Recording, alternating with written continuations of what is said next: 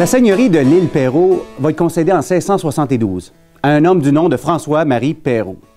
Lui, euh, ça va être le gouverneur de Montréal. C'est lui qui succède à Maisonneuve et il va marier la nièce de Jean Talon. C'est un homme qui a de l'ambition, qui se lance dans le commerce des fourrures. Peut-être un peu trop d'ambition, ça va lui créer des ennuis, des ennemis, tant si bien qu'il va même être expulsé de la Nouvelle-France et va être obligé de vendre sa seigneurie en 1684. Donc Perrault vend sa seigneurie à Charles le moine de Longueuil. Lui et ses héritiers vont garder la seigneurie jusqu'en 1703 sans rien trop bâtir dessus. Mais ce qui devient remarquable, c'est qu'ils vont la vendre à des roturiers. Les roturiers, c'est des non-nobles. Et c'était très rare de faire ça à cette époque-là. Ce sont ces roturiers-là qui vont vraiment développer la seigneurie et devenir les fondateurs. La seigneurie revient donc à un marchand de fourrure, Joseph Trottier des Ruisseaux, et son épouse, Françoise Cuillerier, qui vont développer la seigneurie.